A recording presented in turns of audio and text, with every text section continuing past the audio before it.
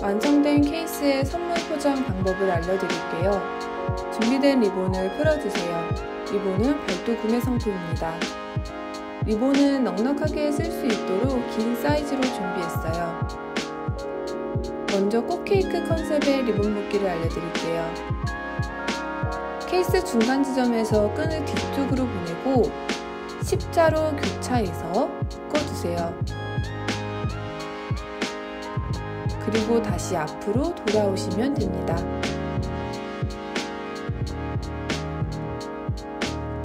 양쪽 끈의 길이가 비슷하도록 당겨서 맞춰줄게요. 끈이 꼬이지 않게 잘 잡아주세요.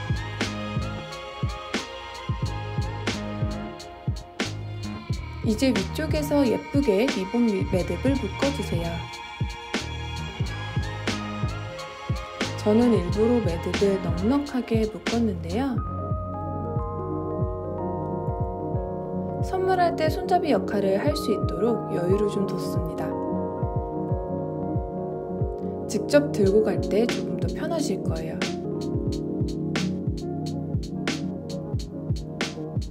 혹시 이 방법이 마음에 안 드신다면 리본을 다시 천천히 풀어주세요. 끈을 당겨서 탄탄하게 매듭을 완성시켜 주셔도 좋습니다.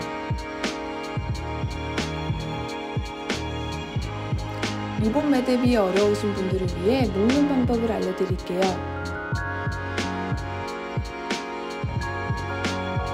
천천히 따라해보세요.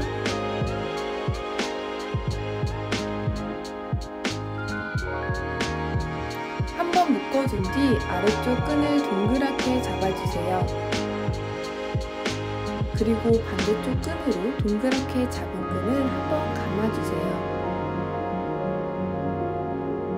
감았던 끈을 매듭 사이로 동그란 모양으로 넣고 당겨주세요.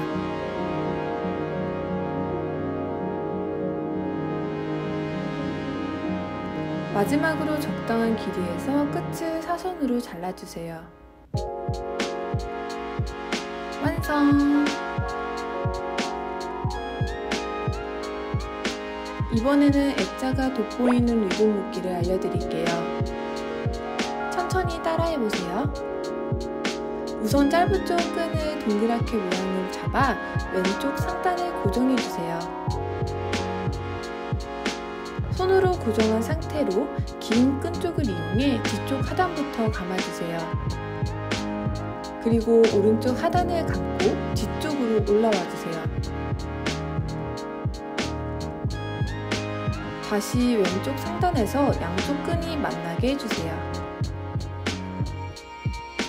아까와 동일하게 리본 매듭을 묶어주세요. 한번 묶은 뒤 아래쪽 끈을 동그랗게 고정하고 반대쪽 끈을 감아 매듭 속으로 넣어주세요. 원하는 길이로 끝을 잘라 마무리 해줄게요.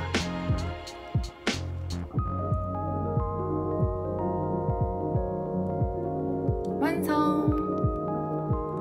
리본 포장으로 더욱 예쁜 선물을 해보세요.